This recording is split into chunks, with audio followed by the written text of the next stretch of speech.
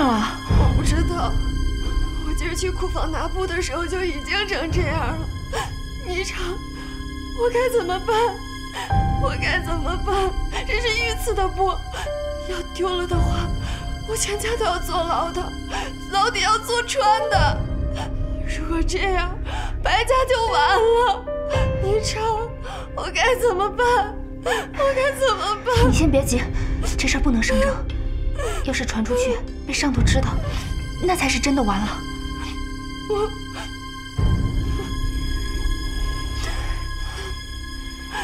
你昨日把这布带去库房之后，可又回去过？我没有，没有回去。我今儿早上拿出来就是坏的。这布好好的放在库房，怎会无缘无故被烧成这样？我哪里知道？我没有得罪任何人。我没有御赐的布，我就不能去比试了。霓裳，我该怎么办？你别哭了，现在还来得及。来得及什么呀？御赐的布都没了，来不及了。没有布，我们就自己做。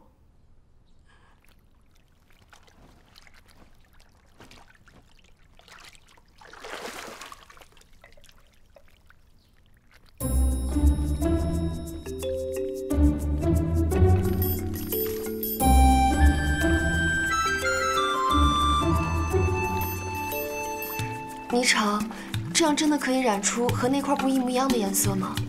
这是我家祖传的染色技法，虽不能说一模一样，可是不仔细看的话是看不出来的。那这个白色的粉末是干什么用的呀？这是固色粉，可是因为时间不够，效用不足，若下水的话可能会大幅败色。那那怎么办啊？现在应付得了一时是一时吧。先过了眼下这关再说。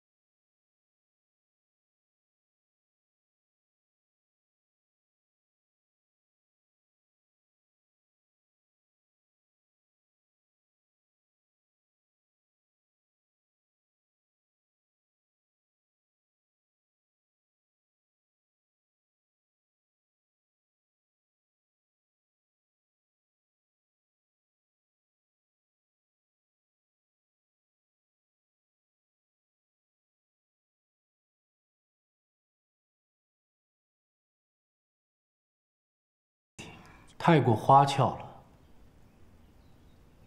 第三位商户，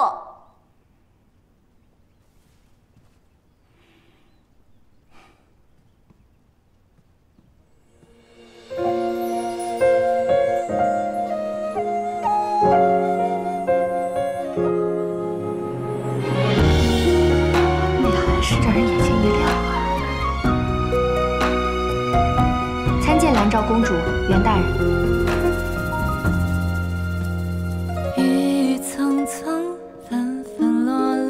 想继续。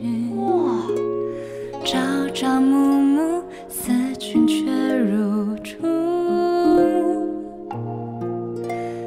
胭脂泪如雨。哎孔雀，我最喜欢孔雀了，这套好，这套好。不错，这件衣裳我很喜欢。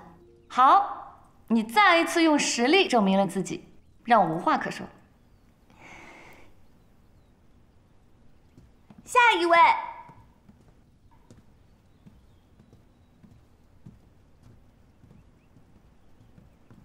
哎呀，是端庄。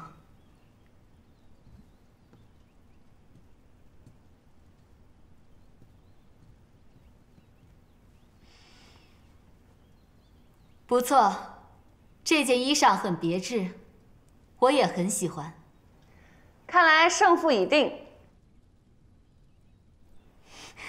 多谢公主殿下。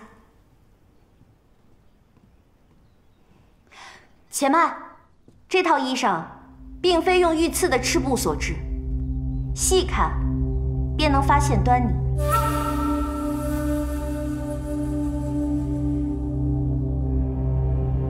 还有此事，来人，在，当场查验。请。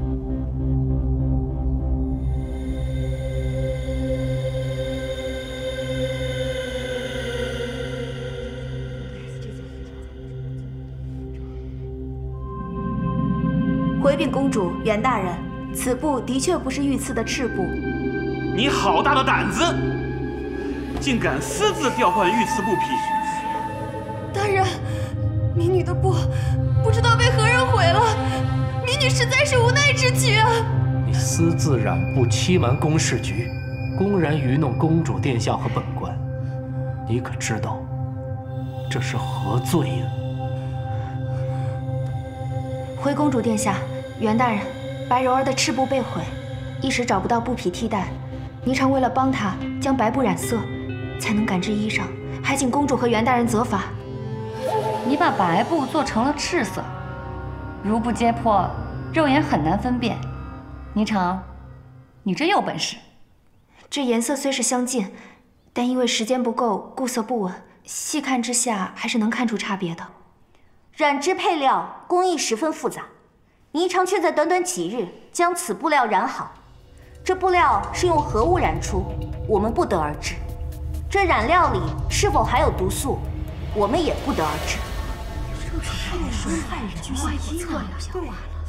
诸位，我们看事情不能只看表面就判断好坏。衣裳是穿在人身上的，如果有毒，可不是小事情。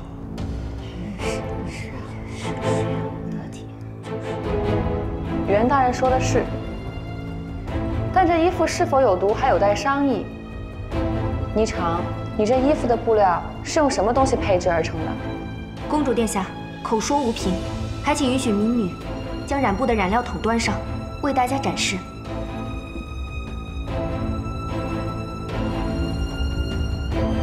你如何证明此染料无毒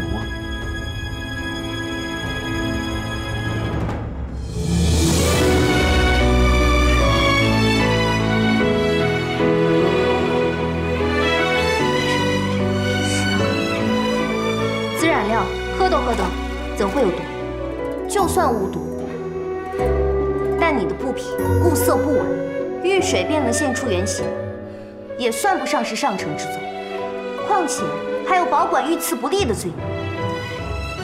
说得好，衣裳虽好，却非原布所作，这已经破坏了比试的规则。白柔儿保管布匹不利，按律逐出竞标大会，永不录用。至于霓裳姑娘，包庇他人，同罪处罚，一并逐出。